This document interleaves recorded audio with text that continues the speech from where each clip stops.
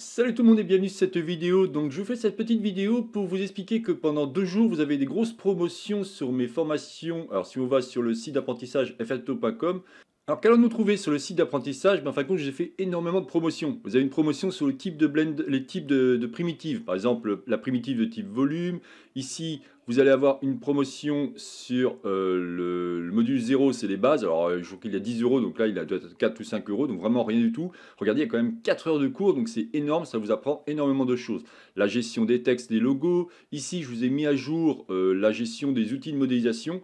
Ça n'a pas évolué, c'est sur la version 4, j'ai fait en sorte de vous faire déjà un décor différent donc ça vous permet d'apprendre énormément de choses. Si je continue par rapport à Blender, la gestion des curves, des nerfs, là aussi j'ai mis à jour en vous expliquant la gestion des cheveux avec la géométrie node, très intéressant. Vous voulez une formation complète au niveau de la modélisation et texture, ben, je vous ai fait une formation de plus de 23 heures. Donc là je vous dis à chaque fois vous avez 40%, profitez-en, c'est deux jours. Alors vous avez d'autres thématiques comme par exemple ce qu'on appelle la réalité augmentée, mais j'en reparlerai après. La gestion des surfaces aussi, si vous ne savez pas ce que c'est qu'une primitive type surface, eh c'est le genre de choses qu'on pourrait faire avec ce genre de primitive.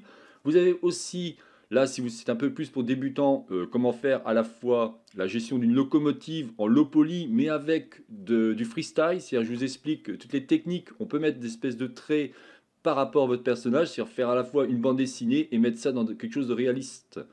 Vous avez aussi ce qu'on appelle les métaballs, extrêmement intéressant pour faire quelque chose comme des boules de mercure. Alors, encore une fois, regardez mes bandes annonces, comme ça, ça vous donnera un ordre d'idée de ce que je vous propose.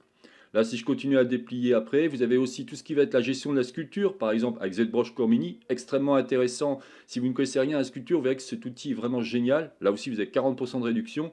Et tout ce qui va concerner Tinkercad. Tinkercad, c'est un super outil quand vous ne connaissez strictement rien à la modélisation en 3D. Si vous voulez faire après de l'impression 3D, je vous propose trois formations. La première au niveau du train, la deuxième après faire un canon à balles et la troisième faire carrément une cuisine complète. Vous êtes, intéressé, vous êtes pardon, intéressé aussi par une formation sur SketchUp Pro.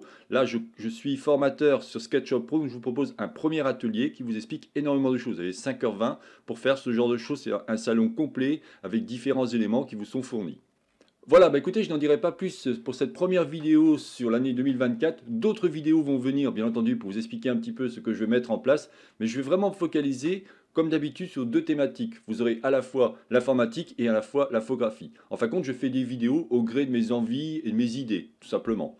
Donc je vous mets évidemment différentes vidéos. Ça peut être par exemple, bah, je, vous, je, spoil un peu, mais ça peut être pour Inkscape, je vais faire des vidéos. Ça va être évidemment Blender 4. Je vais faire énormément de vidéos pour vous expliquer plein de trucs hyper intéressants. Surtout par rapport à différentes questions que je vois sur des forums de type Blender 3D France où il y a des gens qui posent des questions.